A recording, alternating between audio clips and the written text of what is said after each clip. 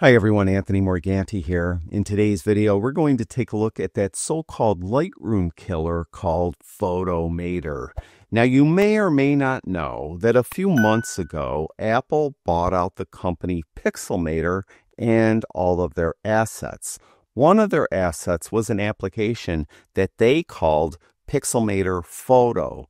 What Apple did is they've taken Pixelmator Photo and they tweaked it a little bit and they've rebranded it Photomator. It's available for Macs, iPhones, iPads, and Vision Pros. In today's video, we're going to take a look at the Mac version. Now, you could download it for free from the App Store, but as soon as you try to use it, it's going to ask you to take out a subscription. Let me very quickly show you the pricing. I'll scroll down here and you'll see that you could get a yearly subscription for $29.99 a monthly subscription for $7.99, a lifetime subscription for $119.99, but it says here there's an exclusive lifetime offer for $79.99. I'm not sure where that is coming from because when I downloaded and installed it, it defaulted to a yearly subscription of $29.99 with a week free. Or I had the option of doing the multi subscription for $7.99, or I had the option of doing the lifetime for $119.99. Nowhere did I see a way I could get a lifetime subscription for $79.99. So I don't know if that was a sale that is now over, but the pricing here hasn't been updated, and I'm not sure what all these other prices are. So the way it stands, the way I see it, is you could get a yearly for $29.99, a monthly for $7.99, or a lifetime for $119.99. If anyone knows how to get that $79.99 price, let us know in the comments.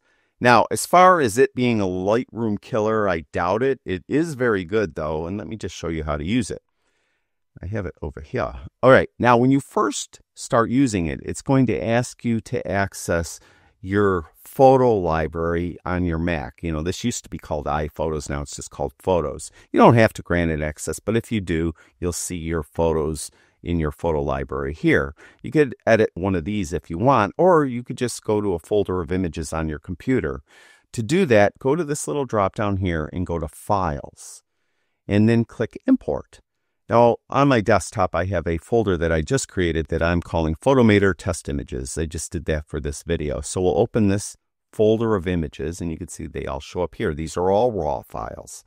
And when you're in this kind of grid view, uh, you can give them star ratings or flags. To do that, for example, on this image here, right in the middle, if I wanted to give this a favorite flag, I would tap the Z, Z isn't Z, key on my keyboard and you can see that I give it a flag. It's called a favorite flag.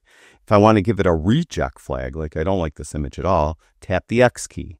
If I want to unflag it, tap the U key. So you just need to remember those three keys, Z or Z, X, and U. If you want to give it a star rating, just hit the corresponding number key for the number of stars you want to give it up to five. So if I want to give this four stars, tap the four key, and you can see it has four star down here. Three, tap the three key. If you want to remove the stars altogether, tap the zero key.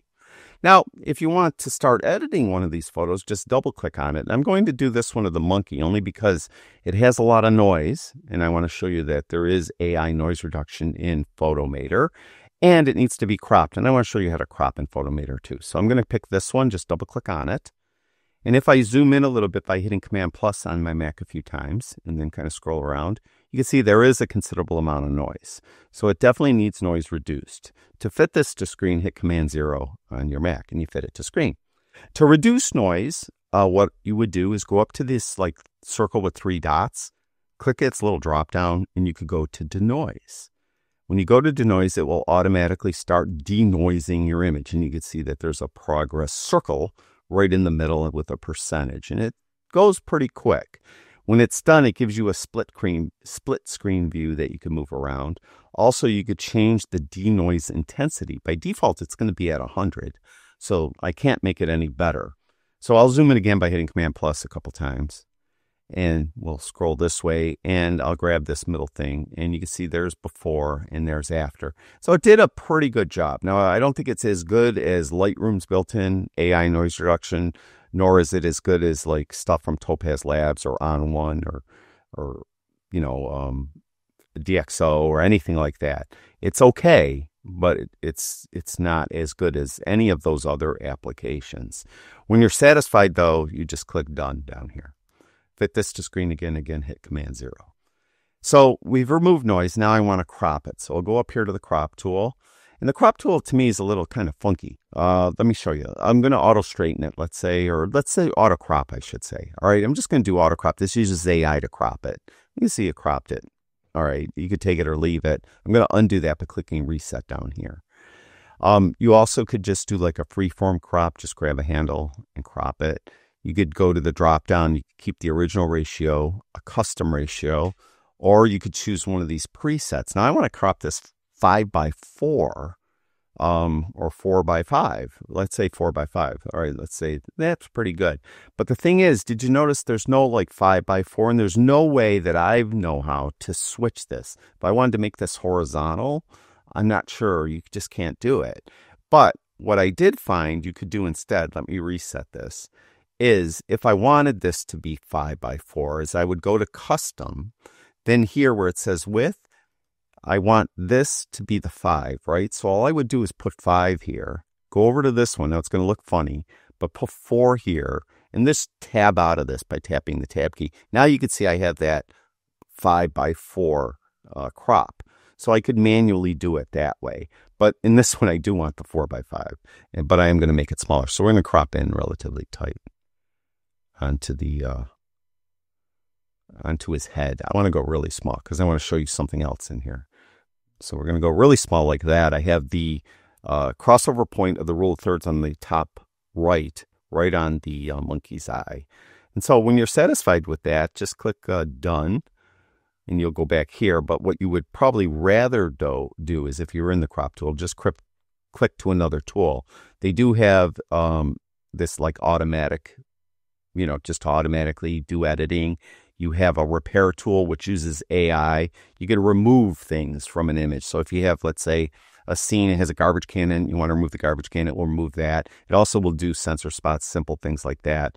It also has a clone tool, which, as far as I know, doesn't really use AI. It just you know clones. There isn't anything here though where I need to do uh, anything with these tools, but we will go to the edit tool. So after you're done cropping, uh, don't just click done because it brings you back to that grid view. Instead, just go like to your edit tools and then you'll be in edit mode.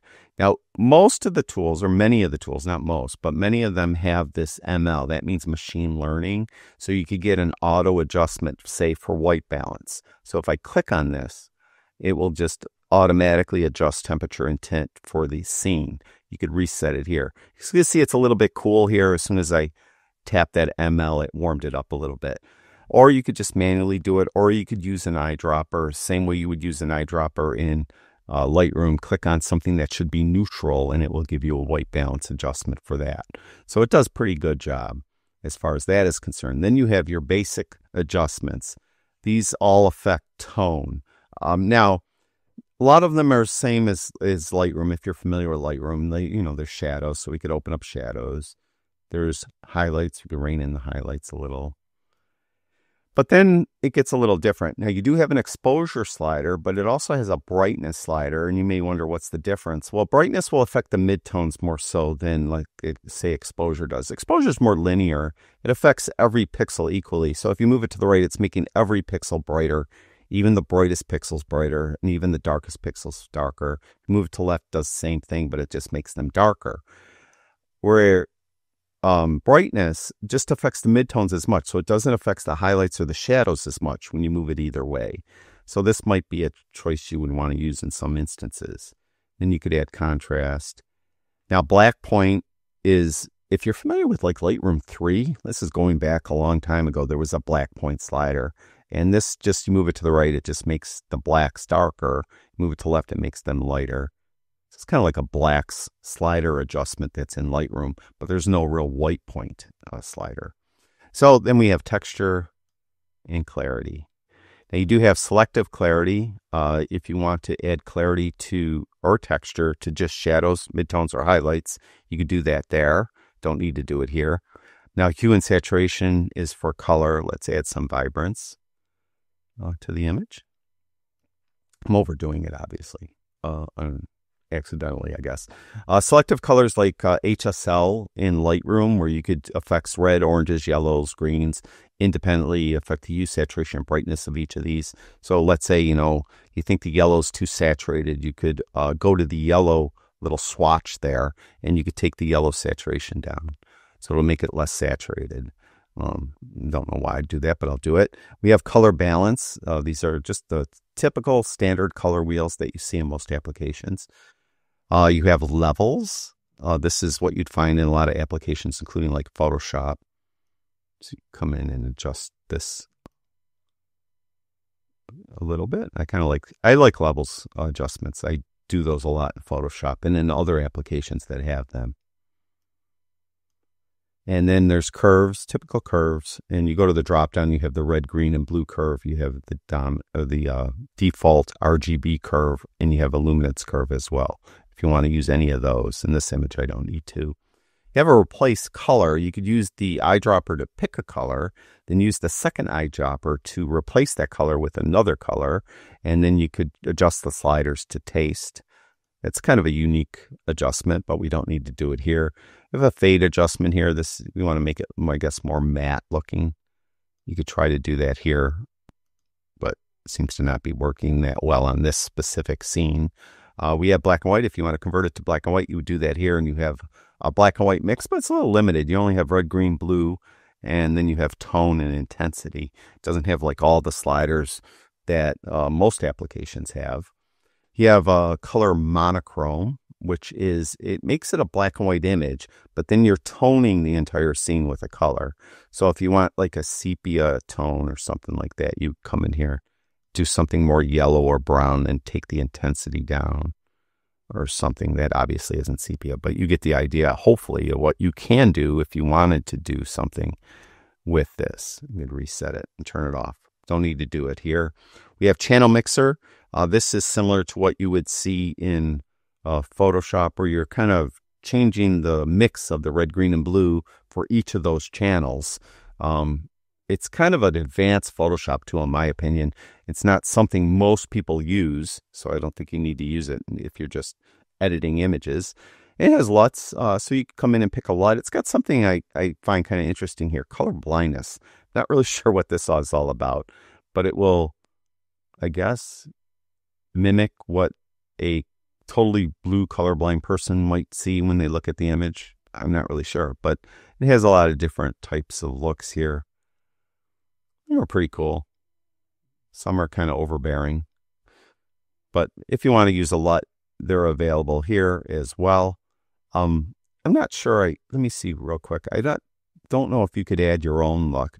Um, I guess reveal and Finder. If you do that, it will show where they are, and maybe you could put your own in here, and then they'll show up in the list. I haven't tried that yet. If anyone has, I'll let us know in the comments. But um, maybe that's how you could add your own LUTs. Uh, vignette, you turn that on. You can see it defaults to this really heavy dark vignette. You could go make it white, dark, change the intensity of the black with this, make it softer with this. Let's add a little bit of a vignette. Uh, it has sharpen, so you could sharpen uh, his radius and intensity. It sharpens the entire image. Um, don't need to sharpen this, I don't think. And it has grain where you could add grain. Now, what doesn't it have? I don't see really any masking. Um, maybe I'm wrong, but I played with it a lot and I don't see any masking at all where I could come in here and do adjustments just to the monkey's face or something like that. Now, again, if you go up here and look at the tools, we have this ML, that's machine learning. So it's going to enhance the entire photo. That's just an auto adjustment. We have the repair tool, and then we have a clone stamp tool. We have the crop tool. We have our color adjustment tools. These are what we just used. We have this drop down and here you could see that you could do that denoise that I just did. You also could do super resolution, which just increases the resolution of the image because I cropped this so heavily. That is something I'd probably want to do here. Now, if I, I don't want to do that. if I go to show info, you'll see right now uh, it's 1214 by 1519. So if I go up here and I do super resolution, it's going to increase the resolution. Again, it uses AI to do this. And you can see now it's 2428 by 3038. So I guess it doubles the resolution. And you could use the slider. Uh, you could zoom in again to see what it did. It looks like it made it a little sharper. Like there's before, there's after, before, after. Kind of like that effect, what it did. And then to get rid of, uh, just click done here to get rid of that split screen. To get rid of the info thing, you need to go back up here and then hide info. So if we go to here again, uh, you can see that um, there's, you know, you could reset the super resolution, reset the denoise. You could copy the adjustments to paste them to another image. Could auto crop to square. I'm not sure why you want to do that. You have another thing where you could increase the resolution again. Let's just try that for the sake of doing it.